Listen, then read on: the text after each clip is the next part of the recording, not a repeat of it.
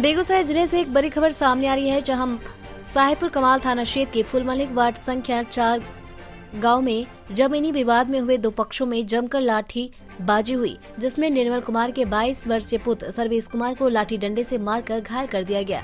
घायल सर्वेश कुमार के बड़े पिताजी ने बताया कि जमीनी विवाद के कारण दिनेश कुमार, बिनेश कुमार, अविनाश कुमार, मदन महतो, विक्रम पटेल, रवीन पटेल सभी लोगों ने मिलकर सर्वेश कुमार को लाठी डंडों से मारकर जानलेवा हमला किया, जिस कारण सर्वेश कुमार अत्यंत गंभीर रूप से जख्मी होकर वही बेहोश होकर गिर पड़ा। जानलेवा हमले करने के बाद वे सब फरार हो गए।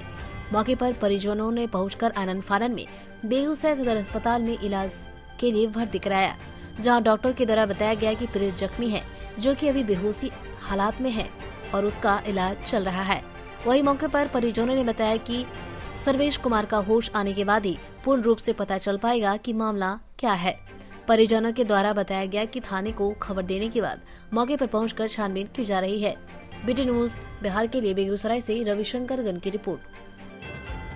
हम लड़ने के पक्ष में नहीं थे। मुझे अमीन के द्वारा नापी करवाए। मुझे नापी चल रहा है वो लोग मानने के लिए तैयार नहीं है उसी में सब मिलकर सब गोतिया मिल करके अपना बेटा को मारा है लाठी डंडा ईटा सब चलाया है क्या करें? क्या नाम आपका? मेरा नाम विभा देवी